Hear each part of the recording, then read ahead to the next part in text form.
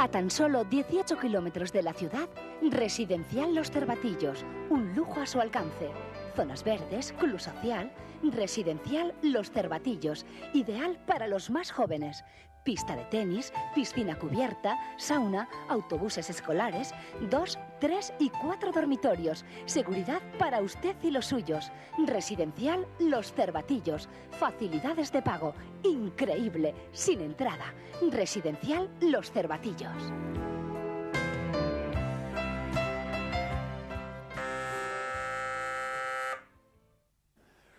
Cago en 10. Pase. Buenas. El residencial Los Cervatillos. Eh, sí, sí, aquí es. Eh, eh, ¿Qué quería? Comprar una, una casa, pero hábleme si no le importa, un poco alto por esta oreja, porque aquí tengo un sonotoide que no escucha nada. Lo que queríamos es comprar una casa. ¿A usted qué le parece? Ah, eh, de maravilla. Pero por favor, siéntense. ¿Qué, qué dice? Que te sientes. Antonio, que te sientes. Bueno. Joder, cómo está todo, menos mal que soy sordo. Un poquito, pero en fin. Le voy a quitar esto que seguro que le, le molestará. bueno, pues ustedes dirán qué es lo que desean. ¿Qué ha sido eso? Antonio, ¿Qué? ¿Qué, qué es lo que desean? ¿Qué, qué desean? Bueno, pues queríamos comprar una casa. Muy bien. Una casa con cuatro dormitorios. Como tenemos dos hijos, bueno, dos hijos y lo que está por venir. Ah, que está usted embarazada. No, no, ella es así constantemente, es Ah. gorda. Eso es lo que pasa cuando uno se casa con una gorda, usted Ya. comprende. Eh. Eh, lo que está por venir es nuestro hijo que se licencia el mes que viene y que se va a venir a vivir con nosotros. Ya, pues mire, lo siento, pero de cuatro dormitorios he vendido la última ayer precisamente. ¿Y de, y de dos? De, de dos, estos. no, mire, les seré franco. Tenemos unos apartamentos monísimos, con dormitorio, salón, cocina, trastero, comedor, cuarto de baño, que son una auténtica maravilla, todo en una pieza. madre Gilda, ¿Qué ha pasado? que dice que de un dormitorio. Piense una cosa, no le estoy hablando de un dormitorio cualquiera, ¿eh? Mm. ¡Ojo!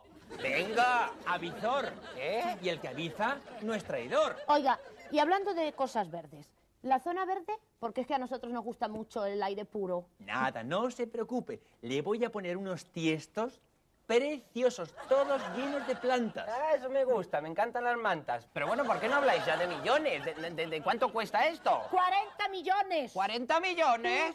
Pero, pero oigan, pero será sin entrada, ¿no? Eso no, sí, sí, la entrada todavía no está construida. Está la puerta, pero falta el marco, el pomo. Bueno, le- no le importa si le pago con un talón conformado. Hombre, no pensaba ir al banco hoy, pero en fin, tratándose de usted haré una excepción. En recepción, se lo, lo pago. Bueno, pues espero que disfruten ustedes de su nueva casa.